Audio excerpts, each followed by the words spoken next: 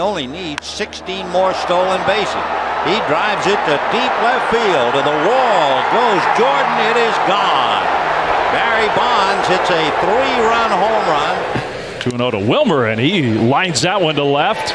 Benson's going to play the carom, and let's see if Wilmer tests him. He's gonna.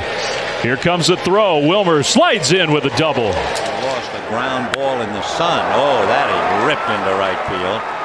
Hernandez scores, or really is on his way to third. Yeah. Wilmer launches one into Buster territory. It is gone. Not quite in the second deck, but Wilmer Flores puts the Giants ahead. It's two to one. On the hands and how quick he is to turn on it.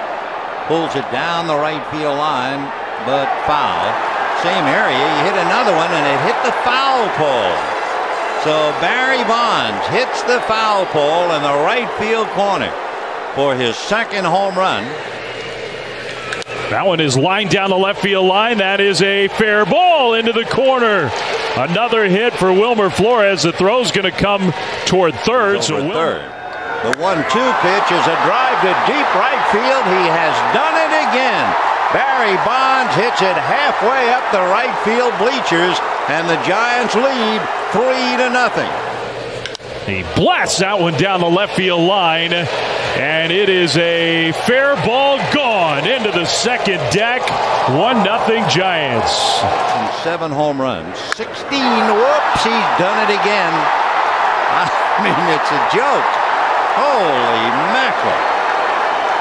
The Bonds hits two more.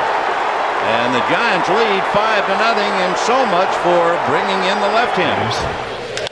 He drives that one out to left center field. Friedl chasing, and it is gone.